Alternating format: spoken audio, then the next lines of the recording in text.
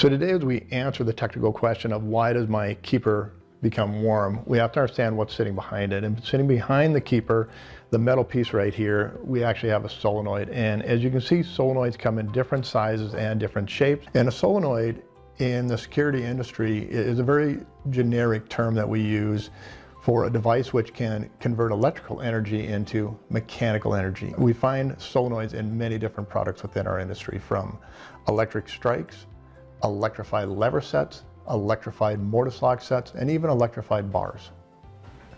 So what we're going to talk about now is a situation in which the electric strike keeper will become warm to the touch.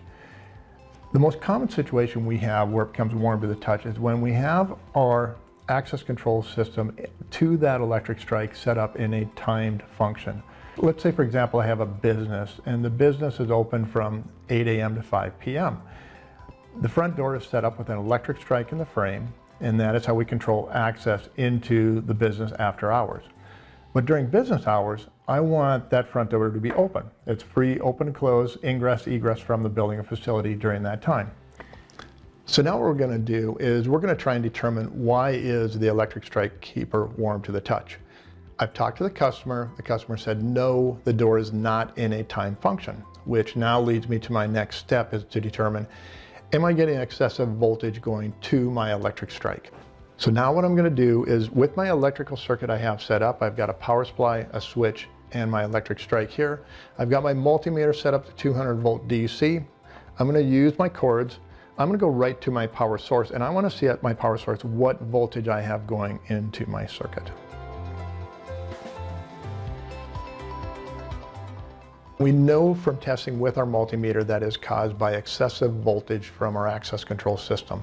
So what I'm going to do is I'm going to use the HES Smart Pac 3 and put this in circuit to be able to reduce the voltage from my power supply through my circuit into my electric strike.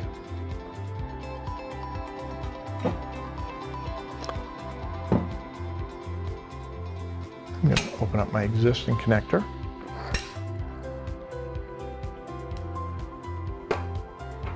And easily drop my Smart Pac 3 into circuit. And we know it's working right. When my yellow light pops up, I've got proper voltage running through my Smart Pac into my electric strike. And you can actually hear the strike re-engage once I powered it back up. In about five to 10 minutes, we're gonna come back and we're gonna recheck our electric strike keeper to see if it's still warm.